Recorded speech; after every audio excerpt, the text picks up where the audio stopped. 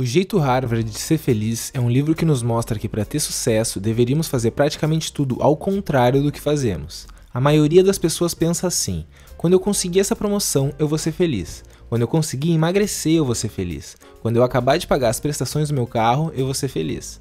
Mas as coisas não funcionam assim. Quando conseguimos o que queríamos, ficamos brevemente felizes, mas logo mudamos o foco para a próxima meta, ou melhor, para o próximo problema. O erro está na fórmula. Achamos que o sucesso traz a felicidade, mas a verdade é que a felicidade traz o sucesso. Isso é algo tão distante da nossa realidade que até os alunos de Harvard, provavelmente a melhor universidade do mundo, tiveram problemas para entender, o que fez com que o curso de Psicologia Positiva se tornasse o curso mais concorrido da história da universidade. Daí nasceu o jeito Harvard de ser feliz, onde o autor Sean Acor, que diga-se de passagem tem uma das palestras mais visualizadas do TED Talks, mostra os resultados do seu estudo com mais de 1.600 alunos para entender as características que nos levam ao sucesso. E ele passa o livro inteiro provando que felicidade vem antes do sucesso. Nas suas próprias palavras, se conseguirmos que alguém aumente os seus níveis de otimismo, ou aprofunde a sua conexão social, ou aumente a sua felicidade, todos os resultados em negócios e educação melhoram drasticamente. Foi observando esse padrão de comportamento que uma empresa de seguros chamada MetLife decidiu contratar parte dos seus funcionários com um critério principal: o nível de otimismo que eles apresentavam, mesmo que eles tivessem ido muito mal no teste de aptidão da empresa. No final de um ano, o grupo contratado pelo seu otimismo superou as vendas dos funcionários contratados pelos métodos convencionais em 19% e no final do segundo ano em 57%. É difícil de acreditar, mas Sean Acor explica. Só podemos prever 25% do sucesso de um funcionário no trabalho pela sua inteligência e suas habilidades técnicas. Os outros 75% são previstos por três categorias gerais: o otimismo, que é a crença de que o seu comportamento é importante em frente aos desafios, sua conexão social, que é o quão profundos e amplos são os seus relacionamentos sociais e a maneira como você lida com o estresse. E finalmente, Ecor diz o que quase todo estudante adoraria ouvir. As suas notas na faculdade dizem tanto sobre o seu futuro salário quanto jogar um par de dados. Então tá, ser feliz e otimista é o que nos traz sucesso. Agora só falta descobrir como ser assim. Vamos ver as quatro principais lições do livro. Primeiro, podemos moldar como nosso cérebro enxerga o mundo. O efeito Tetris. Um estudo mostrou que pessoas que jogaram Tetris várias horas por dia durante três dias seguidos passaram a enxergar o mundo todo como um grande jogo de Tetris. Elas ficavam imaginando blocos nos seus pensamentos, enxergavam todos os objetos do dia a dia se encaixando, estantes de livro, móveis da sala, carros na estrada e até sonhavam com blocos caindo e sendo organizados.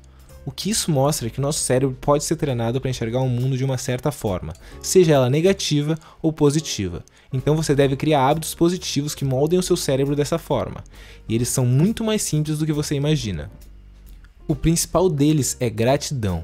Escreva todo dia de manhã três coisas pelas quais você é grato. Use dois minutinhos para mandar uma mensagem ou um e-mail de agradecimento para alguém assim que você chegar no seu escritório. Isso é um hábito utilizado por empresas como Facebook e Microsoft.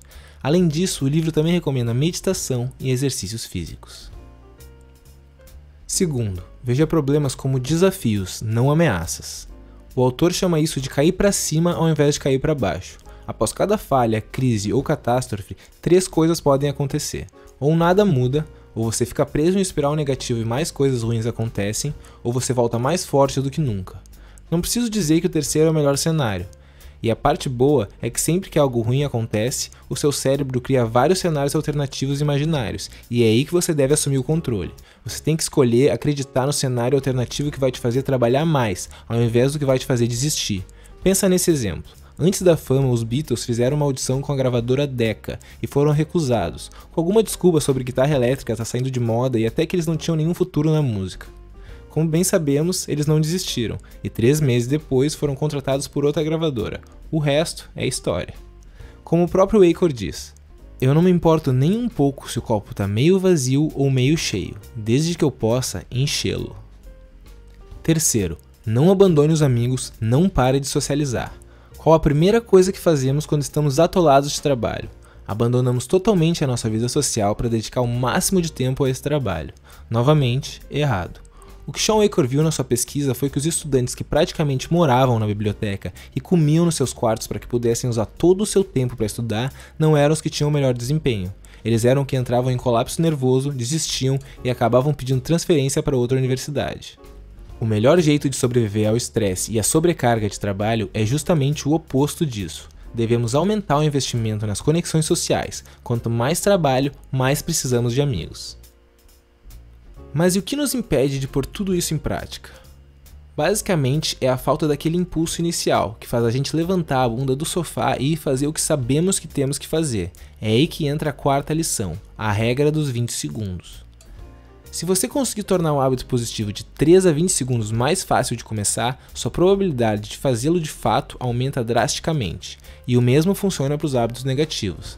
Tá assistindo televisão demais? Simplesmente tire as pilhas do controle remoto, criando um atraso de 20 segundos no seu impulso de VTV. Isso certamente vai diminuir o tempo que você gasta nesse hábito negativo. No livro, Sean Waker conta que dormia com as roupas da academia e com o tênis do lado da cama para garantir que iria direto se exercitar assim que acordasse.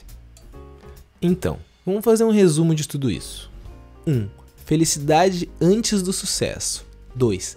Treine o seu cérebro para ser otimista. 3. Gratidão, muita gratidão. 4. Caia para cima e não desista. 5. Fortaleça suas conexões sociais. E 6. Para pôr tudo isso em prática, use a regra dos 20 segundos. Ok? Então, muito obrigado por assistir até o fim. Qualquer dúvida pode mandar nos comentários que eu respondo. E se você gostou desse vídeo, deixa um like e se inscreve no canal. Ainda vem muito pela frente.